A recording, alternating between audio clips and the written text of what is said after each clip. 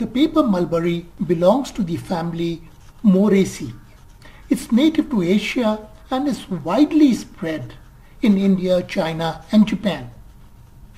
The tree has been introduced in Europe, US and Africa where it grows well too. The tree is tall and sometimes reaches a height of 35 meters or 100 feet. The leaves are variable in shape and have a rough texture.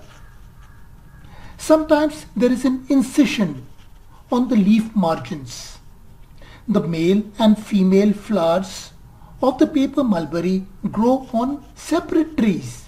The male flowers have a ball shape and the female flowers trail like long styles.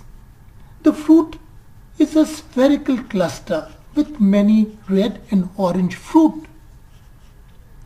The tree has been planted for centuries for food, fiber and medicines.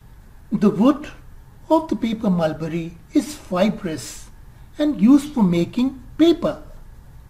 The famous washi, handcrafted paper in Japan, is made from the inner bark of the tree.